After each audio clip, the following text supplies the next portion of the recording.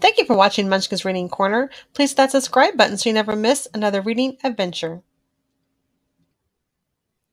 Today we'll be reading The Berenstain Bears Hospital Friends by Mike Berenstain. If you have this book, go and grab it so you can follow along. The Bear family was visiting the Bear Country Hospital. Their cousin Fred had just had his tonsils taken out. They were bringing him a card and a balloon that said, Get well soon. On the way to his room, they passed busy doctors, nurses, and other hospital workers. Cousin Fred was sitting up in bed eating a bowl of ice cream. Aunt Mim was with him. She had a bed in the corner in case she needed to stay overnight. Hiya, Fred, said brother and sister. How are you feeling? Hi, said Fred. His voice was soft and raspy. My throat hurts. That's why I'm eating this. It's the only thing that feels good on my throat. You get ice cream here, said Brother. I want to stay in the hospital too. I don't know if you can stay, said a voice behind them, but I'll give you a tour. It was Dr. Gert Grizzly, their family doctor. She was there to check on Cousin Fred. Can we really have a tour, Dr. Grizzly? asked Sister. Of course, said the doctor. This would be a good time for you to learn all about the hospital.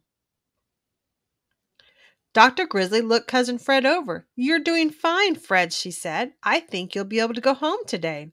Hooray, whispered Fred and went back to his ice cream.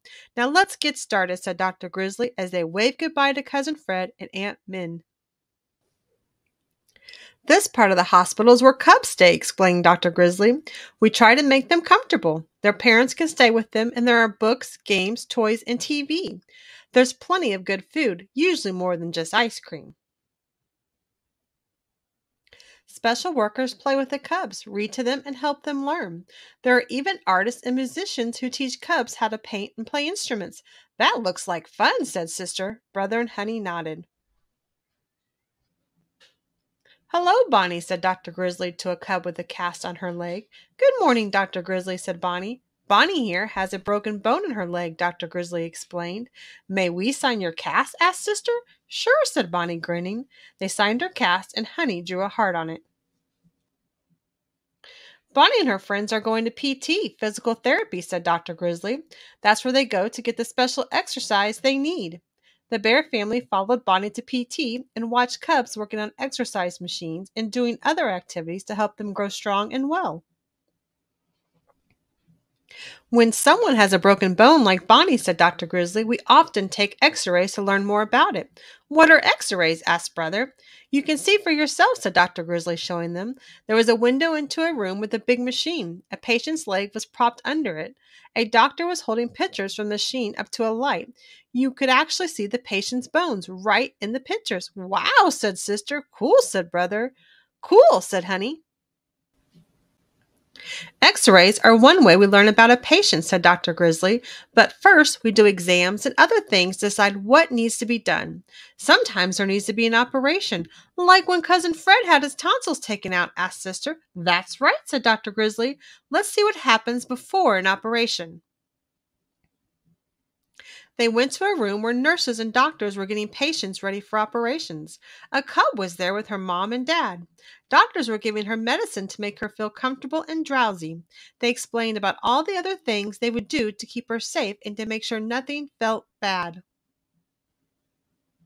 The bear family saw doctors and nurses washing their hands. They wore gowns, hats, and rubber gloves and were putting masks over their noses and mouths.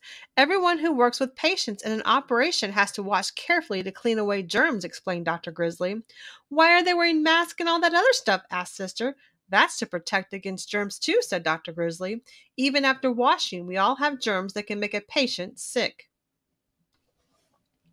Where do patients go after an operation? asked Brother. To recovery, said Dr. Grizzly, taking them into a room where more patients were being cared for. Dr. Grizzly pointed out a plastic bag with tubes attached. That's an IV, she said. It gives patients liquids to keep them healthy. Some of the patients were asleep. One cub was just waking up. Were they taking naps? asked Sister. Not exactly, said Dr. Grizzly. When cubs have an operation, there are doctors and nurses who help them fall asleep and stay safe until they wake up with their moms and dads. When someone comes to the hospital, asked Brother, where do they go first? Often right to the emergency department. The ED, said Dr. Grizzly. That's the last stop on our tour. They passed through a waiting room for families of patients who had just arrived and greeted a nurse at a desk. This is Nurse Brown, said Dr. Grizzly. She finds out all about the patients when they first come in. Most of the patients are sent to an exam room, said Nurse Brown. Would you like to see one? She took them to a row of small rooms with curtains. They saw a doctor listening to a cub's breathing, while a nurse took his temperature and checked his heart. After patients are examined, explained Nurse Brown, they sometimes go for more tests or treatment.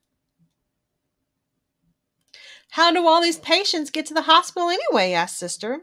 When folks need to go to the hospital in a hurry, said Nurse Brown, taking them outside, an ambulance will rush them right here. Emergency workers can even give care and medicine in the ambulance while it's on its way. Sometimes, Dr. Grizzly told them, patients are brought even faster or from far away in a special helicopter that lands right on the hospital roof. Wow, said the cubs. Oh my, said Mama, holding her hat in the breeze. Wow, said Papa.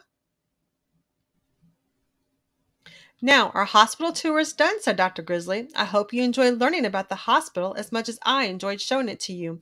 Yes, we did, said the bear family. Thank you, Dr. Grizzly. Thank you indeed, Doctor, said Mamma. We've met so many new friends here today the doctors, the nurses, and everyone else who works hard to make the hospital a special place.